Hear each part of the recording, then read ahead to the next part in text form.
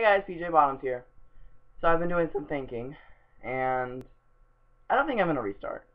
Because I've already, you know, made it this far, and, well, I kind of don't want to stop until I do this. I'm, I just think that maybe, you know what, I, I'm lazy. That's, that's the reason why. I'm just lazy. Okay? I'm lazy. I haven't even started on the script for my introduction video I was gonna make and God knows when I'll find the time to film it. So, I think I'm just going to keep things as it is, you know. It's pretty, you know, I'm doing fine right now.